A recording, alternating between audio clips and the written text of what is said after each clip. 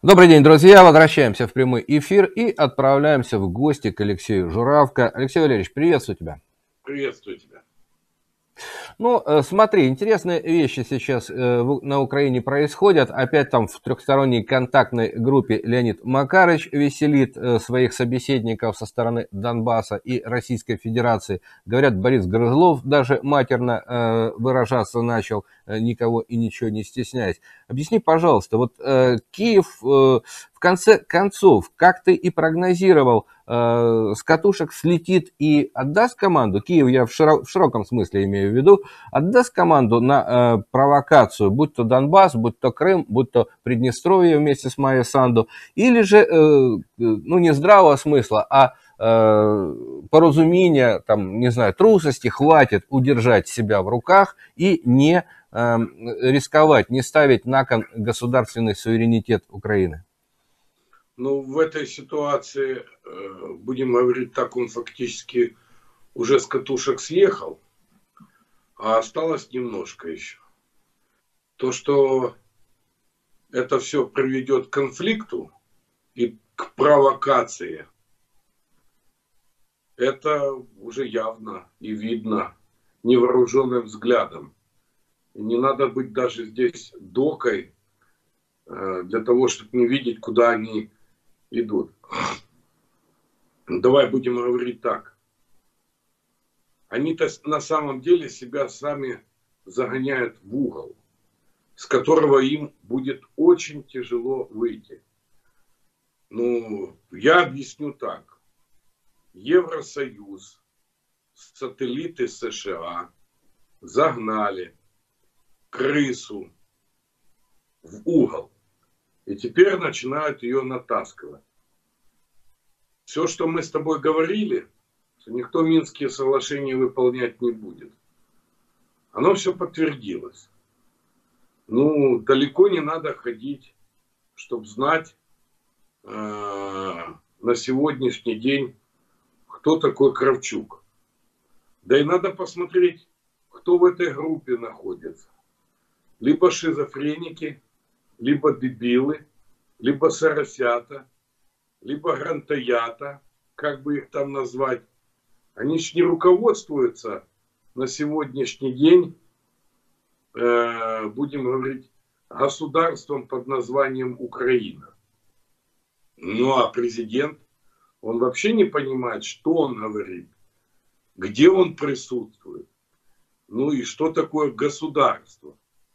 Поэтому надо и с этого исходить. Ну и тут все становится понятно, что, ребята, рано или поздно этот нарыв рванет. Я повторюсь, нужно уже определяться России самой. Да? А в следующий раз, если повторится, Донбасс не надо сдерживать. Вот и все, если говорить честно. Но с этим бардаком, который происходит вокруг Донбасса, это со стороны Украины, и вокруг России со стороны Евросоюза, Соединенных Штатов и НАТО, надо тоже заканчивать играть в эти смешные кровавые игры. Ни к чему хорошему не доведет. И следующее. Что там Россия не делала, как бы она ни показывала, что она миролюбивая, что она свои войска везде не расставляет или ракеты не ставит, что она приверженница мира. Ну, будем говорить так, пушистая такая, хорошая. Она во всем будет виновата. Как бы мы этого не хотели. Мир уже изменился. А, позиции все экономические во всех отношениях изменились, и все они идут против России. Потому что сильная Россия и равенство, и права правильные, рыночные, никому не нужны. Мы на сегодняшний день боремся с ветряными мельницами и льем воду. Я не понимаю, для чего мы это делаем. Вот я, допустим, сторонник, это раз по зубам надавать и закончить с этой проблематики. Вот Молдова. Кто она такая? Санду или как там? Или вот, допустим, в Беларуси новый якобы ушастый президент, который на сковородке даже котлеты не может пожарить нормально. Но рассказывают, что она домохозяйка. Кто она такая? Все эти люди это разрушители. Они где сегодня питаются? Все из-за бура. Они не думают о людях. Вот и все. Поэтому о чем тут говорить? Говорить-то и нечего. Надо заканчивать. Ввели там миротворцев в Карабахе. Отлично. Правильно поступили. Теперь Украина. Один раз рубанули по Донбассу. Ребят, ну мы вас последний раз предупредили. Следующее. Донбасские войска будут на границе области. Это Мариуполь, это Мелитополь, это, будем говорить, Донецкая область. Хлустнули один раз по загривку. Не поняли. Ага, где там у вас находятся вот эти вот, будем, тербаты и всякое вот это отребье. Одна ракетка прилетела, побили их, и закончилось это все. А потом следующее предупреждение. Ребят, еще один натовский самолет пролетит. Это наша зона интересов славянского мира. Хлуси он упал. Но они извини, МХ-17 над Донбассом расстреляли. Ну, я на своем же останов... а, а, остановлюсь. В этом виновата Украина. В этом виноваты спецслужбы. Америки, Англии. Да мне хоть черт лысый. Это люди враги к нам. Мне абсолютно все равно, понимаешь? Мы должны так же самое адекватно происходить.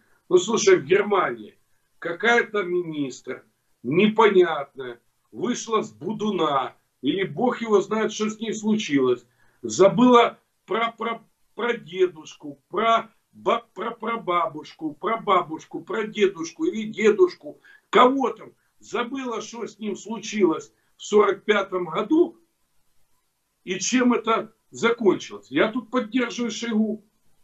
Он правильно сказал. У нас директор свой, у нас школа своя. Чего вы лезете к нам? А второе, он же правильно сказал. Ребят, вспомните бабушек, дедушек своих. Вы же еще лет сто будете отмы, отмываться от этого греха, который вы натворили. Вы сколько ж людей погубили, убили в 41 до 45 -го. О чем мы говорим? Ну, по, мо по моему счету, уже надо заканчивать, да? Я уважительно отношусь к Грызлову. Я удивляюсь, как это он еще терпел так долго. Вот эту всю клоунаду и чистоплюйство. Вот я не понимаю. Слушай, ну при чем здесь Россия? Россия наблюдатель. Да, она подписант Минских соглашений, но она не есть сторонник конфликта. Она пытается урегулировать. Но тут ребята не могут понять. Тут, знаешь, по НАСА понесло везде. Там мосты надо по новой взрывать в Крыму. Там надо турецкие какие-то беспилотники, чтобы уже летали, стреляли, гопали. Ну, надо заканчивать, понимаешь? Ну, вот меня, мне непонятно. Ну, 20 соглашений Украина подписала с Турцией. На 30% дешевле эти беспилотники будут строиться в Украине. Я не понял. Вместо того, чтобы унитазы производить, да, сковородки производить, корабли производить, они машину-убийца производят, да, летающие. Да ну, ребят, ну, раз вы хотите, где вы там хотите их производить? На мотор Сичи или еще где-то? Ну, бабахните один раз ракетой. Да и все, я уже прямо но с этим надо заканчивать. Ведь должны страдать те, кто призывает к войне. Должны страдать те войска, которые проводят террористическую атаку фактически против другого государства. Вот это мое понимание. Да, я украинец. Завтра СБУ возьмет заметку твоего эфира, что я намолол, и мне еще пришлепают одно уголовное дело. Я им хочу сказать, ребят, пришивайте уголовное дело мне за такие призывы. Я против терроризма, я против войны, и вообще вас, как каратели, надо отправлять по тюрьмам. Вот и все, это мое личное мнение. Ну, я понимаю, что ты, как и я, сторонник доктрины «мир спасут любовь и массовые расстрелы». Мы придем с любовью и с расстрелами, надеюсь, которые будут не массовые. Но давным-давно пора, наверное, многим было бы понять, что если утираться, улыбаться, а нам будут говорить русские «сидите и не дергайтесь», мы будем вам срать на голову, мы будем вам угрожать санкциями и постепенно, э, как коту э, хвост рубить, эти санкции выводить, выводить, но вы не дергайтесь. Вот красная линия, за нее не переходите. Может, нам когда-то и пора переходить за красные линии и делать так, чтобы действительно падали американские самолеты над украинской территорией, чтобы э, каждый э, Сенченко, э, Ислямов, Порошенко наверняка знал, что в любую минуту к нему прилетит ракета на его мобильный телефон э, нацеленная, и его не будет, его будут собирать по деревьям, по асфальту, там где угодно. То есть надо с террористами вести себя правильно, Слушай, так ну, как ведут себя другие. Слушай, я не настолько кровожадный, как ты кровожадный. Я вот смотрю, ты какой-то кровожадный. Ну, это неправильно. Сенченко, вот наподобие этого, его должны спецслужбы выкрасть и осудить за тот геноцид, который он э, призывал отключить воду. Да? Того же самого Ислямова или еще кого-то там тоже должны выкрасть. Ну ты посмотри, он э, в Иране просто ядерщика химика. Кто он такой? Он ученый. Вы, вы взяли его, убили.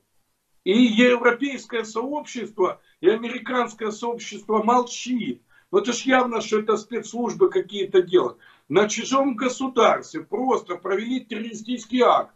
Но как только Россия уничтожает тех людей, которые уничтожают инфраструктуру чужого государства, да, им ничего нельзя. Ах, вы бедненькие. Ты посмотри, что полиция творила э, во Франции последний раз. Там же убивали на ухнах. Так они там зверский закон принимают.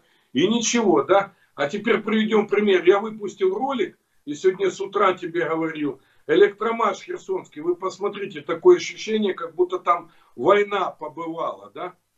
Ну подождите, ну людей же тоже надо защитить. Последнее отбирает на существование, на жизнь право отбирает. Подожди, а как это называется? Это то же самое нападение, только другими средствами и методами. Просто разбомбили всю инфраструктуру, отобрали заработок и все остальное. А это не война, а это не геноцид. Это то же самое. Убили когда-то хорошую, красивую страну под названием Украина. Ну ты, Сергей, не против украинского языка, нет. Ты против вот этой шизофрении, которая происходит. Так же самое я. А с ней как надо бороться? Либо дурки открывать и халаты надевать, и их туда всех переть, да? Либо зачищать, либо должен суд справедливый быть, как это э, э, Нюрнбергский процесс, когда все убийцы должны висеть, грубо говоря, как оно есть, согласно закону. Все преступления должны быть э, доказаны, что они творили. Ты что думаешь, что эти соросята, коллаборанты, которые уничтожают мою любимую Украину, я должен терпеть? Ну, я вообще-то созидатель.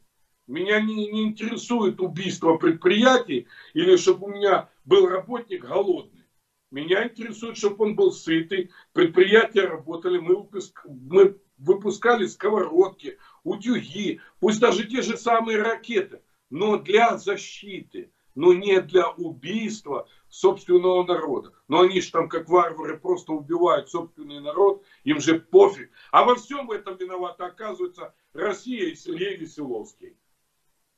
Ну, э, Глеб Лешенко позавчера, по-моему, э, написал по поводу заявления Арсена Борисовича Авакова, который вдруг националистов, нацистов увидел, сказал «Ай-яй-яй, нацисты». Ну и э, Глеб Лешенко, украинский журналист, говорит, ну неужели Аваков чего-то осознал? Нифига Аваков не осознал, но самое интересное, если мы действительно жестко и решительно будем действовать в отношении Украины, такие, как Арсен Аваков, э, еще будут принимать таких, как Алексей Журавка, э, в областные организации партии «Единая Россия». И будут отказывать, потому что скажут, Журавка, где ты был, когда мы боролись с бандеровской оккупацией? Я здесь в подполье был, а ты, Журавка, в Москве прохлаждался. Вот гадом буду. У нас в Крыму такие э, Аваковы в «Единую Россию» первыми повступали. Так что и когда вернемся, вот увидишь, кто знаешь, будет возглавлять ячейки. Ты знаешь, самое страшное, когда мы вот с этим отребием всем заигрываем и прекратили понимать, что такое предатель, что такое коллаборант, что такое нацизм и что такое враг собственного народа. Вот когда мы определимся сами в себе и прекратим играть в, эту, э, в этот либерализм, Э, в эту лживую демократию, в которой я не верю, а станем самим собой в первую очередь и будем понимать, что мы народ победитель, и будем понимать, что у нас есть свои собственные достоинства, тогда мы начнем отпор давать.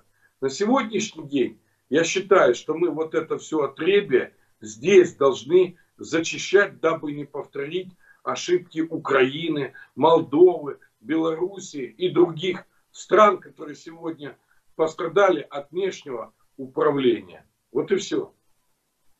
Ну, э, пока мы с тобой говорим, э, э, мой товарищ и руководитель Константин Кнырик зарегистрировался на ТикТок и в ужасе комментирует, говорит, первое, что я увидел, это абсолютно русофобские, вообще антироссийские ролики, которые ТикТок ему в рекомендации высыпал. То есть пока мы боремся на внешнем контуре с врагами, внутри наших детей превращают в русофобов, в таких маленьких бандеренышей, которые в свое время выйдут на российские Майданы и устроят нам э, вот, вот то самое, что в 2014 году уже устроили э, бандеровцы на Украине. Вот куда еще надо обратить внимание и понять, не, где и как э, нас пробивают. Не дай бог, конечно, но то, что я вижу, что даже, вот ты назвал ТикТок, да, а я тебе назову Яндекс. Мне он очень сильно не нравится.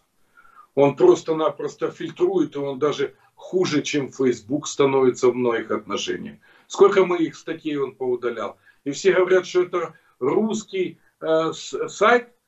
Так какой он русский? Он полностью либералистический, он полностью лжедемократический. Знаешь, я ушел с Яндекса, хотя набрал я 130 тысяч подписчиков, а потом я просто ушел. Я уже сомневаюсь, наш ли это ресурс, патриотический ли этот ресурс, о чем мы-то хотим на самом деле, я не понимаю. Поэтому я в открытую говорю тебе. Ну, по поводу Яндекс Эфир я могу полчаса говорить о том, как они нас гнобят, уничтожают. Вот мой коллега сидит и с пятницы пытается эфиры э, загрузить. Модераторы рубят все на свете. Каждый десятый от силы наш эфир заходит на площадку, вот эту, на платформу Яндекс. И не на э, средства массовой информации нас выше уровня блогеры не пускают. То есть мы международное информагентство, у которого полмиллиона было подписчиков на Ютубе, в Яндексе нас э, считают ну, маленьким таким вот э, человечком, который там где-то сидит, и его никто никому не показывает. Нас прячут, нас нету в топах, нас нету нигде. Вот такая вот она российская платформа, о которых сейчас так наш э, Роспотребнадзор печется. И чем больше им будут давать деньги, тем больше они будут становиться русофобскими. Вот у меня такое ощущение. Валерьевич, мне коллеги показывают, время истекло. Спасибо тебе большое.